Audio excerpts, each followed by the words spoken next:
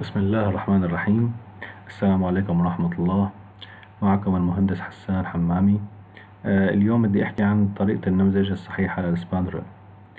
آه الشيء اللي بدي ناقشه هو هل فينا نعطي ال spandrel اسم واحد label واحد؟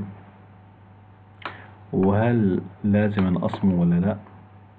في حال بدي نمذجه لحتى يتصرف ك beam عادي. شو هي الطريقة الصحيحة؟ لحتى يعطينا نفس النتائج.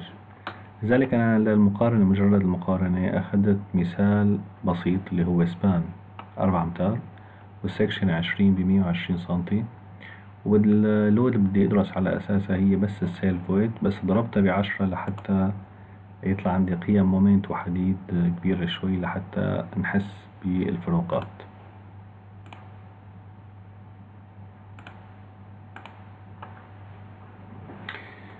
الحالة الأولى إنه أنا أخذت قسم واحد تيت اسم واحد طبعا.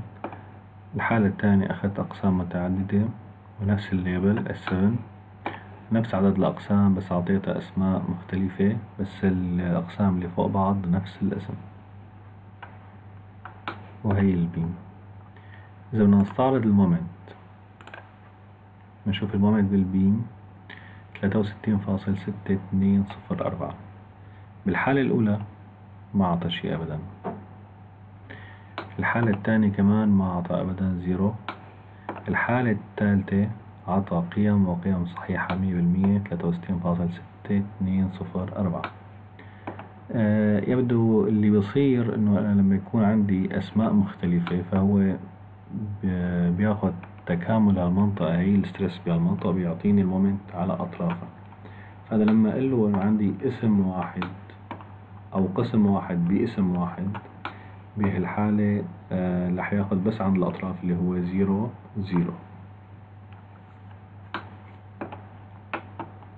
في حال بدنا نشوف هل لازم أقسم رأسيا وأفقيا؟ أنا عندي هون حالة إنه مقسم بس رأسيا. وأعطيتهم اسم واحد كمان لحتى نجرب مرة تاني.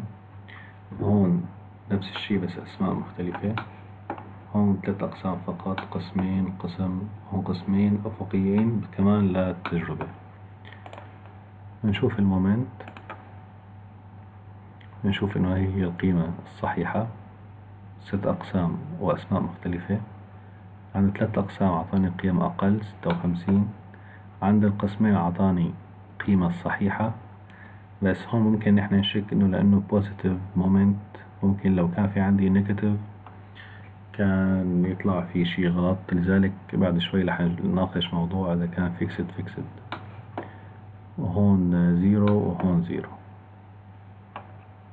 فإذا لحد هلأ شفنا الست أقسام والقسمين عطونا نتائج صحيحة بالنسبة لل simple support إذا بدنا نشوف الحديد كمان نشوف ال beam بيطلب 282 ملم مربع. بالعادة ال spandrel بيكون أكتر بشوي.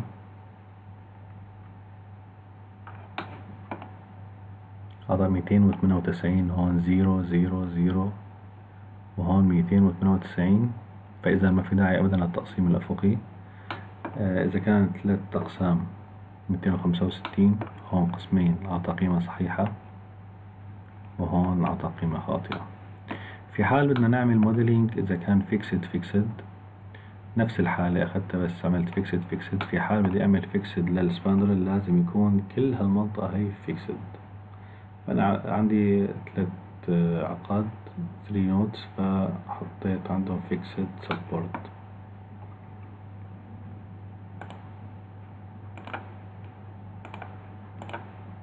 عندي هون كمان للتجربة. أعطيته نفس ال label. هون ال label مختلف ونستعرض ال moment. نشوف هون نتائج خاطئة. بال beam واحد وعشرين فاصل اثنين. عنا بهالحالة اثنين وعشرين فاصل اثنين. فينا نعتبره مقبول. أه بس لنتأكد إنه طريقة ال modeling صحيحة لأنه ما فينا نقارن وطريقة ال modeling غلط. فأنا كترت عدد الأقسام عملت الضعف وحطيت fixed على كامل ال nodes على الأطراف طلعت واحد وعشرين فاصل أربعة. هون واحد وعشرين فاصل اثنين. كمان ضاعفت عدد الأقسام تلاقي واحد وعشرين فاصل اثنين. خلص معناها كطريقة modeling صح إنه أنا أحط هون ال fixed support بس في حال كان عدد الأقسام أقل بتكون دقة أقل بس مقبولة يعني.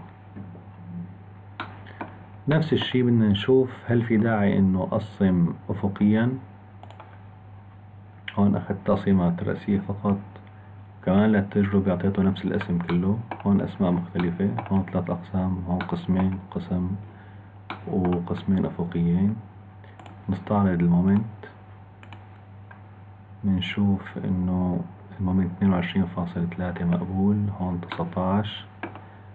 هون واحد وثلاثين اللي هو القسمين. فقط. فإذا لو كان simple support كان عم يعطينا قيم صحيحة. بس لأنه fixed fixed أعطاني قيم خاطئة بالاثنين. في حال كان عندي ال span أكبر ممكن أنا أحتاج لقيم أكثر ممكن أحتاج لقيم أقل. يعني هذا الشيء بيعود للمهندس كيف شايف آه، نتائج منطقية. أنا اللي شايفه هلأ عم نشوف سوا نحن إنه الست أقسام هو أفضل شيء. الحقيقة أنا ماني مقسم أربع أقسام. أتوقع الأربع أقسام كمان كانت كافية. فإذا ست أقسام أو أربع أقسام الست دقيقة جدا الأربعة أتوقع كمان كمان دقيقة.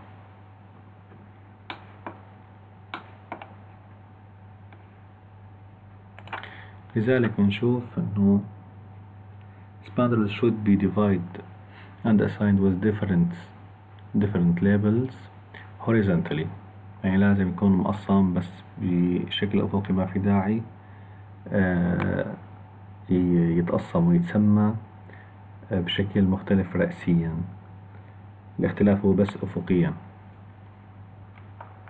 و it's enough to divide uh, spandrels vertically لأنه with enough number of parts.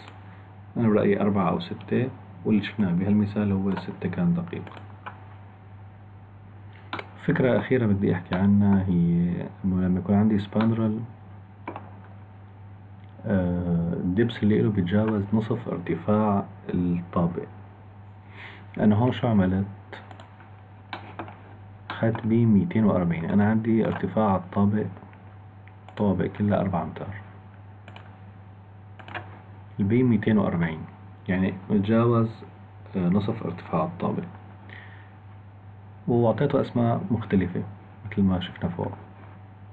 إذا بدي أستعرض نتائج ال moment نشوف إنه هو قسمه كأني لقسمين من فوق لهون ومن هون لهون. لأنه من هون لهون مية وثمانين أقل من نصف ارتفاع الطابق أعتبره قسم واحد. ومن هون لهون آه، قسم لحاله. هلا موضوع نصف ارتفاع الطابق أنا هي لاحظتها بأكثر من مثال ما بس بهالمثال هذا. وطبعا حل هالموضوع هو بس لما أقول له assign. مثلا إحنا عنا هالأقسام بدي أعمل له assign label بدي أعطيه اسم جديد مثلا. لازم يكون فعل الخيار multi story له add a new وقول له بعدين assign فأنا عندي كل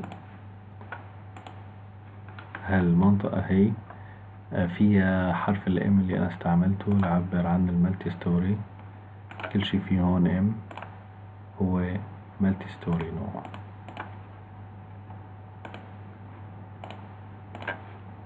في حال استعملت هالطريقة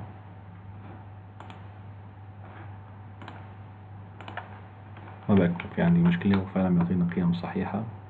مية وسبعة وعشرين moment هو مية وسبعة وعشرين. لحتى نتأكد إنه فعلا نصف ارتفاع الطابق بالضبط.